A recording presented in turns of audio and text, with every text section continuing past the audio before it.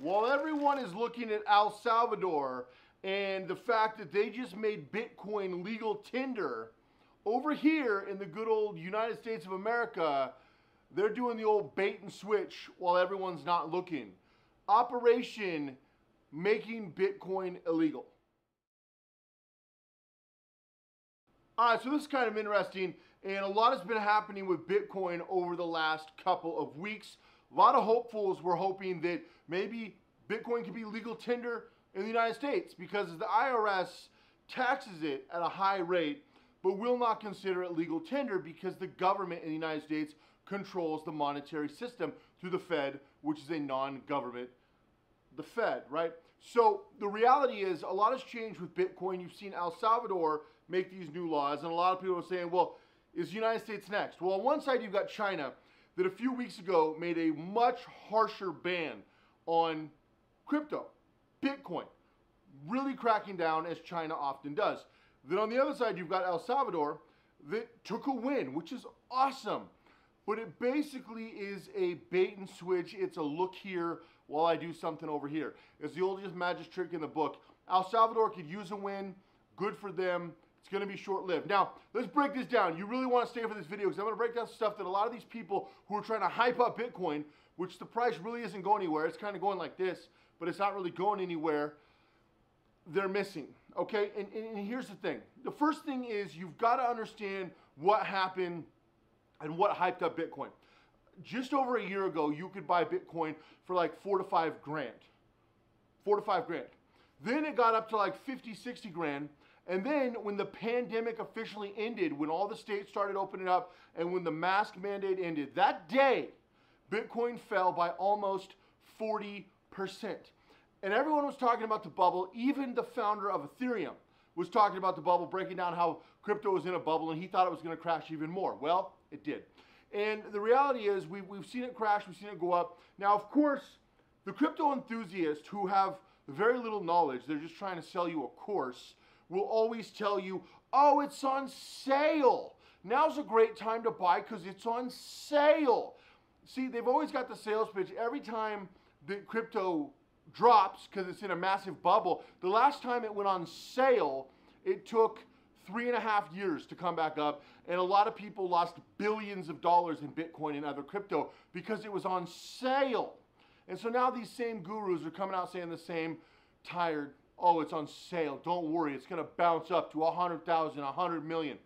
The problem with Bitcoin, a lot of stuff came out in, in Washington today talking about stricter uh, stricter oversight and stricter laws on Bitcoin, which is something I've been talking about for over two months now. That this bill is going to get passed. So there's a few bills in Washington that are looking at getting passed where they're going to squeak in laws that affect cryptocurrency and Bitcoin, similar to what they did to the, the CTA, the Corporate Transparency Act. That wasn't a bill, a standalone bill. That was passed as a package in a whole bunch of other bills. And this is how Washington always does it.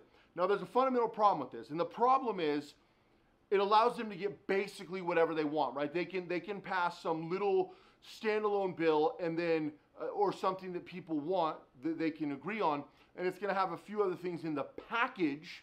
That's how Washington does it. Every bill legally should have to be one bill should be voted on individually. Well, unfortunately, our government is about as corrupt as corrupt gets, and they do not do that. They package things together which should be illegal, but it never will be. It never will be because they won't allow it to be, and they have the power. Congress has the power, so they'd have to vote themselves out of power. No people are going to vote themselves out of power, and the American people have proven that they're incredibly weak as they went along with this, you know, global whatever. So nothing's going to happen. Let's just put that right now. Nothing's going to happen. The American people are going to do what they always do, which is nothing. I mean, the, the, the, our ancestors would have done something by now. The Americans now are so weak, they're not going to do anything. So, what can you do? Is crypto bad? Should you get out of crypto? No. But you should really start looking at the crypto you're getting. There's two parts to this. One is I've talked a lot about Pirate Chain, a lot about Monero, a lot about privacy coins, and the reason you should pretty much only use privacy coins if you want to keep your crypto long term because the government eventually is going to put stiffer and stiffer regulations and make crypto not worth it, and they're also going to tax it at a rate that makes it really difficult to make money on it. And when they do that, the bubble's going to pop. The, the bubble hasn't popped, it's just deflating. It's deflating in front of our eyes. It has not came back up since the global crisis has officially ended, and it's not going to anytime soon because that excess money has all dried up. It's all gone. And so now people are having to get back to their normal life, and so we're going to see a, a pre 2020 market, which is going to be about a quarter of what it is now. So you're going to see the air continue to let out. There's been a lot of big hedge funds and a lot of big companies that have already pivoted away from, from Bitcoin and said they're not coming back. They have no reason to come back. Even Elon Musk has flip flopped and talked about pivoting. And I guarantee if Elon Musk goes on a Bitcoin sucks rant, which is probably coming, then Bitcoin will go from you know, mid 30s to mid teens overnight because the fact is Bitcoin is not a real currency and it's not a real store of wealth. It is a hype train. That's all it's ever been. It has no real value. It's the oldest outdated cryptocurrency there is. It'd be like me selling you on a Model T. Hey, you want a Model T? Yeah, if this was the early 1900s, the Model Ts were incredible. But to buy one right now in the 2020s would be ridiculous. No air conditioning, no power brakes, no power steering, no value, right? No value as a daily driver, maybe a car collector, no value. So old, antiquated, and outdated. Bitcoin is the Model T of cryptocurrency, but people are hyping it up like it's something great. There are a lot of other cryptocurrencies that solve problems that add value. Bitcoin is not one of them. Bitcoin has always been a hype beast. That's all it's been. It's like Supreme. That t-shirt is not worth $400, but because it has a little logo on it and people want it, they covet it goes up. That brick with Supreme logo, those pancakes, or that hammer, or that any. When I was when I was a kid, Supreme was an average to mediocre skateboard brand that most people didn't even like. Then it became a hype beast due to popularity. That's what happened to Bitcoin. And a lot of you are going to be left holding the bag if you think Bitcoin has any long-term value. The next thing is what has been happening with hackers and ransomware, and that has proved what I've been saying and what every other privacy advocate has been saying for a couple years now that Bitcoin is not a privacy coin. Bitcoin is not secure. They were able to backtrack a lot of this. They were able to catch a lot of hackers. They were able to pull back a lot of Bitcoin. It's supposed to be anonymous and on blockchain and Silk Road and you can't catch me and catch me if you can't. No, dude. Super simple. FBI pulled their card and they've pulled a lot of cards that we don't even know about. And there's been rumblings and talk in the community of how open Bitcoin is. Bitcoin is one of the easiest things to track that there is. Anybody can track Bitcoin. It's not closed source, it's not private, it's not secure, it's, it's just in your face. And it also doesn't have the protection that a lot of that a lot of other financial assets and financial instruments have. So Bitcoin just kind of leaves you hanging out there. And the problem with that for most of you is then you're kind of just stuck, right? You're stuck in a scenario where you've got this coin and it's just worthless. It doesn't add any value, it doesn't do anything. It's just kind of a, a hyped up thing. And if the hype runs out, you lose all your money. It's kind of like what happened to millions of people in 2017. The hype ran out, the money ran out, and the coin went from like 20,000 down to just a couple thousand bucks. Well, all those people who bought it high had to hold on for years or sell at nickels on the dollar because of the hype ran out. And it's the same thing that's happening right now. It's the same thing that's going to continue to happen until Bitcoin just kind of withers up. It's not a diss on Bitcoin. A lot of people get offended, like, no, Bitcoin's great. It's not great. You want it to be great. I understand. I wish it was great. I wish half of what people say about Bitcoin is true. I would invest every penny I've ever had into Bitcoin. But the problem is not true. So with them being able to retract and being able to uh, catch these hackers easily because they're so dumb that they use Bitcoin as ransom, which is one of the easiest things to. They would have been better off using a Swiss wire transfer. Like you would have been better off telling them to deposit it at your local Bank of America. Like this is ludicrous that people still think this. They've watched one too many Hollywood movies. Bitcoin is the most regulated and tracked form of of I don't know what you want to call it. It's not a currency. Store of wealth, that's pushing it. There's no store of wealth that goes like this at all times. It's just this weird market that the government has been cracking down on. Now, because all these ransoms, the pipeline, uh, even uh, you know JBS Meats just paid like 11 million dollars for like we've just seen this massive hacktivist movement, this super, and this is just a couple of them. I've seen dozens and dozens of big hacks and big ransoms pop up over the last month, like tons, more than ever. It's off the charts.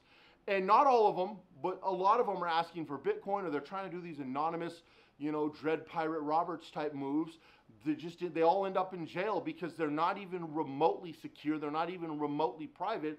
And I think a lot of people are feeling the squeeze and they're feeling the pain of what's been happening the last year, year and a half in the world. And now with all the government stuff drying up, there's going to be a lot of desperation, a lot of desperate people. The government funding, all the government stuff is officially pretty much ended. And even the moratoriums and everything end at the end of this month. So you're going to see millions of people get evicted from their homes who haven't been paying a lot of bills for the last year. And so it's really kind of coming to a head. And the government is, is putting less faith in crypto. And they're talking, I mean, just today, they came out with a whole bunch of new proposed regulations. And it's coming from both sides, it's coming from Democrats and Republicans. There's no like savior party. There's no, both sides at some level want way more regulation and they will get it like they get everything they want because that's how the federal government works. And it's going to be slid into a package. So is crypto going anywhere? No, I think crypto is going to be around. Is the United States going to keep working on regulating it and controlling it more? Yeah, they are. Could they eventually do a prohibition style uh, making crypto illegal? Yeah, a lot of people have said that there's a good chance they'll do something like that. I've talked about different ways they could do stuff like that as well.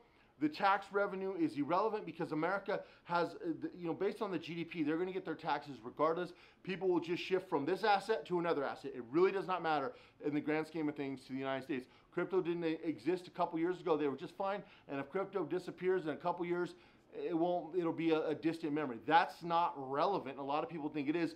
What's controlling this is big companies, and they'll just pivot their funds from one asset class to another asset class, the same they've done throughout entire history of the American economy. That means that a lot of people think well, there's too much money in Bitcoin. Yeah, it got cut in half in a couple days. There's not too much money in Bitcoin. They can pull it out like that. Bitcoin could go to $2,000 tomorrow. Do I think it will? No, but is it going to keep going down? It's going to keep going like this right now until we get more clarity, right? The last big hit, although there are a couple big companies talking about pulling out billions more, and if that happens, it's going to go down to, you know, low 20s, high teens. But if you keep looking at the way that it's going, yeah, Bitcoin's going to have serious problems. Could it go back up a little? Of course, but it's not going to be the way that it was because it can't, because it keeps getting squeezed and it's no longer a safe bet. During the pandemic, it was a safe bet because people were funneling money they didn't even have. People were funneling stimulus checks and all kinds of stuff in there. And plus, with stimulus checks, they had extra capital to invest. That's all dried up now. So that's why Bitcoin and crypto markets are starting to dry up, starting to get the squeeze, and they're starting to feel the air let out. And as the air lets out, more and more people are starting to get out now because they don't want to be sitting here for four years praying that it goes back up. Is Bitcoin a privacy coin? No. Is Bitcoin going to continue to have problems? Yes.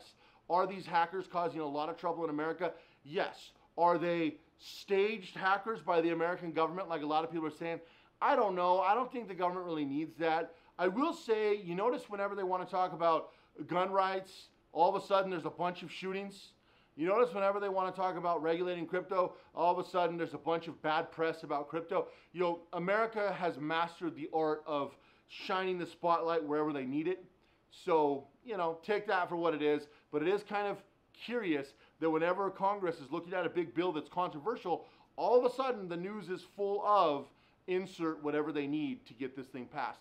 Anyway, let me know what you think down below. Really appreciate you guys checking out this video. Go all in in everything you do in your life.